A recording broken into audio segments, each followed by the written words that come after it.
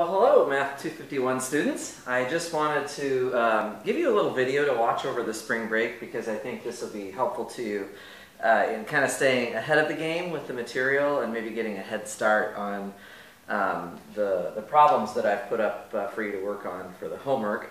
Uh, gives me a chance to do a little bit of math during the break too, which I uh, never object to. Um, so I'm just going to do a couple more examples on this optimization topic, if that's all right. Essentially, we were talking about it in class um, on the Thursday before the break. Um, if we have a function of two variables, um, we're looking for the what we call the critical points. And those are the points a, b, where both partial derivatives f sub x and f sub y are equal to 0. And I should also add or undefined. Okay, so wherever the partial derivatives are either 0 or undefined, uh, we have a critical point. Okay? Once we find our list of critical points, uh, then we have this d test, or in other words, the second derivative test, um, where we calculate this expression d. d is uh, fxx times fyy minus fxy squared. And we plug in our critical points into that expression for d. And um, here are some outcomes of that test that we talked about before. Um, if d is greater than 0 and fxx is greater than 0, well then the point AB is a local minimum. All right. Uh, if instead the fxx is less than 0, well in that case AB is a local maximum. Finally, if d is less than 0, then regardless of any other uh, facts about the partial derivatives, if d is less than 0, we have a saddle point. Okay? And if d is equal to 0, then the test really doesn't give us any information, and we have to think about uh, another way to decide whether AB is a, a maximum or a minimum or a saddle point. I've got a couple of examples like that in the homework for you to look at, and uh, we'll talk about them uh, in class uh, soon. So just be thinking about that a little bit. Now, towards the end of class, uh, I had told you guys that sometimes you don't need to use this D test right? If you're talking about a physical problem where there has to be um, a minimum or there has to be a maximum, then you sometimes, just from the nature of the problem, will know that you're talking about uh, one or the other of those. So let me uh, give you an example. I gave you an example of that in class. Uh, it was I gave you the equation of a plane. Um, x plus 2y plus 3z equals 4 and I said, what is the point on that plane that is closest to the origin? Right, so that was an example of it. We did that one in class. Let me give you another example. And again, these are usually these are real world, like physical problems, actual physical problems in the real world. So this would be an example. A closed, a closed rectangular box, okay? a closed rectangular box of length x, width y, and height z. So suppose you have a box, its length, width, and height are x, y, and z, um, has a volume, has a volume of 125 cubic feet. Okay, so suppose you have a particular volume to this box. Find the dimensions find the dimensions that minimize the surface area. In other words, they want you to find uh, the x, y, and z values that will minimize the surface area of the box. Okay? So, you know, here's a here's a picture of what of what we're looking at, right? We have a box, something like this, right? Not the greatest artist here, but that's the idea, okay? So we have, you know, the length is x, the width is y, and the height is z, right? Now for the surface area of a box, notice that we have six sides to that box, right? The top and the bottom, the way I've set it up, the top and the bottom both have an area of x times y. Those are just rectangles on the bottom of the box. And then the front and back faces are going to have dimensions x by z. There's two of those. And then the sides, the left side and the right side, well, there's two of those, and they have area yz. So this is our surface area equation. Maybe I'll just call it A. So the A is the surface area. Now, one of the problems with this formula is that it has three variables in it, x, y, and z. Remember that we really are mostly studying functions of two variables in this uh, section. So a question comes about, how do you get rid of one of those variables? Well, that's where we have to take advantage of the volume. Okay, the volume was given to us. Of course, the volume of a box is just the length times the width times the height. And we were given that volume as 125. Okay? If I now solve that for z, I will get 125 divided by x times y. And this is how I can now go about uh, replacing the z, uh, eliminating the z essentially from the, uh, from the problem. So I'm going to go back to the area equation again, and I'm going to replace z with 125 over xy. So we have 2xy plus 2xz. Okay, so 2xz, but z, excuse me, z is going to be replaced by 125 over xy. And then I'm going to do the same thing with the 2yz. I'm going to replace the z with 125 over xy. So this can be simplified. Let me just simplify it for you really quickly. All right. I have 2xy. 2 times 125 is 250. And the x's cancel, leaving me with a y on the bottom. And then in the second term, same kind of thing, 250, this time x on the bottom. All right? So this is my area equation, and the next thing I need to do is try to find my critical points. I want to find the minimum surface area. So now that I have a function of only two variables, I can um, work on finding my critical points. So for example, a sub x, the partial derivative of this area function with respect to x, let's see. 2xy, the derivative with respect to x is just 2y. The middle term will become 0 when I differentiate with respect to x. The last term will be minus 250 over x squared. Okay, and we're going to set that one to 0. We're going to set that one to 0. Okay, I'll come back to that in a minute. Let me find my other partial derivative, though, first. a sub y. That's going to be 2x minus 250 over y squared. And again, I'm going to be setting that equal to 0. All right, with that in mind, I now can come back and um, solve these equations. Okay? I had mentioned in class that it's a good idea to keep the zero on the right-hand side. Um, that's, of course, not a bad thing to do. However, what I will say is that you really are leaving the zero here so that you can factor on the other side of the equation. And here, there really isn't any factoring that you can do anyhow. So what I'm going to do instead, I'm actually going to just, um, well, the 2 and the 250 can be simplified. I'm simply going to do the following. I'm going to let uh, y equal 125 over x squared.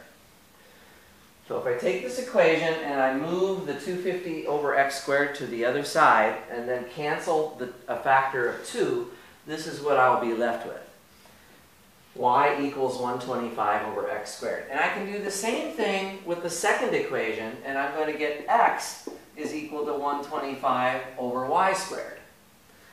All right? I'm not the biggest fan of fractions, so I'm going to cross multiply those equations. X squared y equals 125, and xy squared equals 125. Okay? So far, so good. Um, well, actually, this means that these two equations are equal to each other, right? So we can actually conclude here now that x squared y is equal to xy squared. Normally, when you're canceling, you have to make sure you're not canceling a zero from an equation. But in this case, notice that the x, the y, and the z have to be positive numbers. We are making a box here, so these quantities x, y, and z are not going to be zero. So I can cancel some x's and y's, and uh, if I cancel uh, 1x and 1y from each side of this equation, I will get that x is equal to y. If I put that information back into either one of the first two equations, I can see, for example, if I come back up here, that x cubed will equal 125. And that means that x is equal to 5, and since y is equal to x, y will also be equal to 5. Guys, we have found one critical point. There's only one critical point here. It has to be the one we're looking for. We don't need to test this 0.55 in the second derivative test because this has to minimize our surface area, right? It's not going to maximize our surface area. For one thing, the question is asking us to minimize the surface area. And uh, furthermore, there really is no maximum surface area that I could make. I could make a box that was 0.00001 feet high, right, that took up a massive area in terms of the length and the width of that box. So you could make the surface area as big as you wanted if you, if you were, um, you know, making this box really, really short. There is no maximum surface area here. There's only a minimum. Okay, so uh, I know that that has to be uh, my solutions for x and y. Of course, then I can come back, and I just erased it. The, the z, the z coordinate was 125 over xy. So if you put those values in for uh, z as well, or for, sorry, for x and y, you solved it. For z, you get 5 as well. So the dimensions that you're looking for here, again, without ever using the d-test at all, is just 5 by 5 by 5. Length, width, and height are all equal to 5. In other words, it's actually a cube. It's the shape of a cube. Okay? I hope that makes sense. This is another example of a physical problem where the um, one critical point that you get has to be what you were what you were looking for. Okay? Let me give you one more example. Okay? And again, you can pause this and rewind it. Watch it as much as you need to. Uh, that's the nice thing about a video. Let me give you one more example here. Find three positive numbers. This is similar to a homework problem, so I thought it might be useful to show it to you. Find three positive numbers whose sum is 100, so they add up to 100, and whose product whose product is as small as possible. Okay, so let's try this. Um, so, in other words, when I add up the three numbers, I have to get 100. But when I multiply the three numbers together, uh, I want that product to be as small as possible. So maybe I can uh, call my variables x, y, and z again. Right? So x plus y plus z is equal to 100. And our product expression, let me call it p of x, y, z. Of course, this just means that we're looking at x times y times z.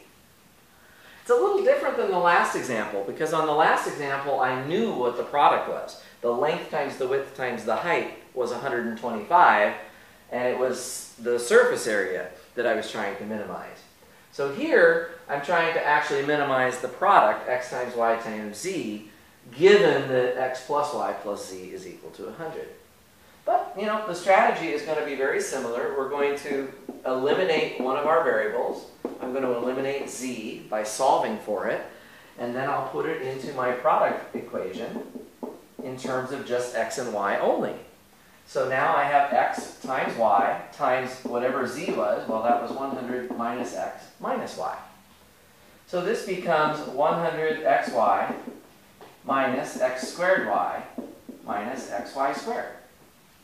Okay. I go, uh, I start uh, working on my partial derivatives again. We're going to look for the critical points of this function of two variables. When I differentiate with respect to x, I get 100y minus 2xy uh, minus y squared. Okay? And when I differentiate this with respect to y, I'm going to get 100x minus x squared minus 2xy. And both of these need to be equal to 0. Now, all three of those numbers, x, y, and z, they are all positive. They are all positive. So none of them can be zero. None of them can be zero. So for example, the first equation there, you see that you can factor a y out of it? Can factor a y out of that and leave yourself with something that looks like this. And the second equation, similarly, I can factor an x out of the second equation. And if I do that, I'm going to get this expression.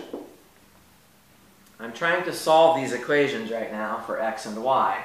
But because x and y are positive, positive numbers, then I know I can cancel them.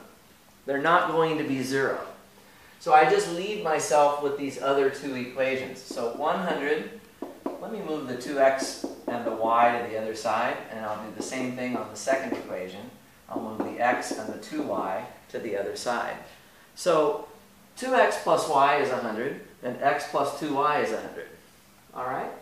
So if I, if I actually take these two equations, I basically want to solve them. Two equations and two unknowns. Two equations and two unknowns. One way to do that is to just set them equal to each other. If I just set them equal to each other, I'll have the opportunity to cancel on both sides of the equation, and look at that. I once again, I get x is equal to y.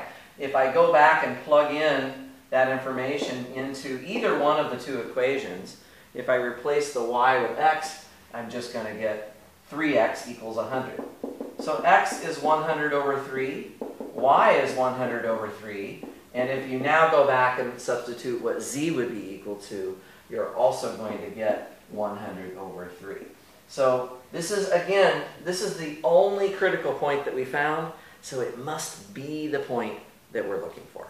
Okay, I hope that these uh, physical examples have made sense. You're going to find problems on this in section 13.9 in the book. Um, give it a shot. If you have questions, you can email me over the break, and we're certainly going to um, talk about the homework when I come back and when we come back um, the first week of April. Okay, thanks guys. Thanks for watching. Take care.